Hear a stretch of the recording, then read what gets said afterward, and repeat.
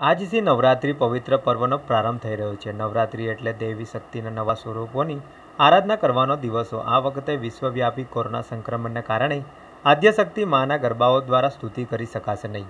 વડોદરા જિલ્લાના પાદરા તાલુકાના રણુ ગામે ઐતિહાસિક મા તુલજા ભવાની માતાજીનું મંદિર આવેલું છે.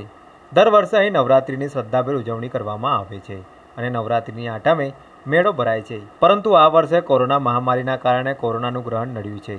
આજે પ્રથમ નોરતાએ શ્રી તુળજા ભવાની માતાજીના મંદિરે વહેલી સવારથી જ માય ભક્તો દર્શનાર્થે ઉમટી પડ્યા હતા અને માના દર્શન કરી ધન્યતા અનુભવી હતી.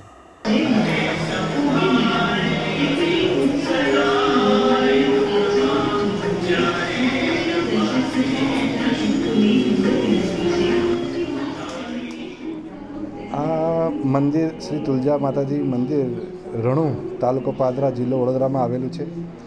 આ મંદિરને આશરે નવસો વર્ષ ઉપરાંત થઈ ચૂક્યા છે અને ત્યારથી માતાજી અહીંયા વિરાજમાન છે. બસો વર્ષ પહેલાં શ્રી સ્વામિનારાયણ ભગવાન પણ અહીંયા પધારેલા અને એમને અમારા વડવાઓને ગોદડી આપેલી જે આજે પણ ભક્તો માટે ઉપસ્થિત, દર્શન માટે ઉપસ્થિત છે.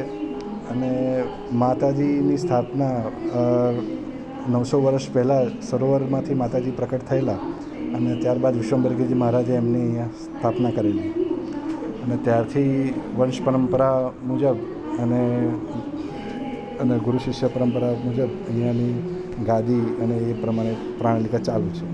આજથી શારદીય નવરાત્રિ શરૂ થયા છે અને આ કોરોના મહામારીની વચ્ચે સરકારશ્રીએ જે આપણને આ ભક્તિ કરવાનો જે મોકો આપ્યો છે, એની માટે હું સરકારશ્રીનો આભાર માનું છું.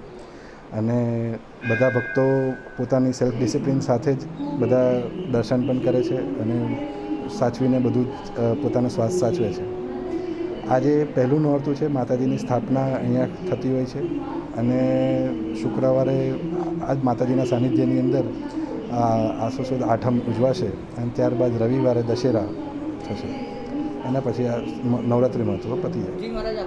મંદિરના પટાંગણની અંદર કઈ પ્રકારની ફેસિલિટી રાખવામાં આવી છે જેના કારણે કોરોના મહામારીને હવે તમે આ આ પંદર આવ્યા હશો એટલે તમે જોયું હશે કે સેનિટાઈઝ સેનિટાઇઝેશન સ્ટેશન્સ સેટ કરવામાં આવેલા છે. સાથે સાથે લોકોને જેને કદાચ એને હાથ પગ ધોવા હોય એની માટે પણ વ્યવસ્થા કરેલી છે.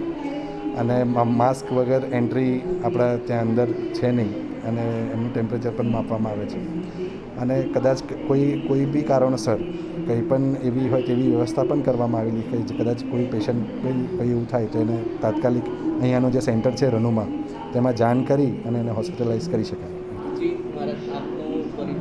મારું નામ શ્રી કવિન્દ્રગીરી રાજેન્દ્રગીરી મહાત્મા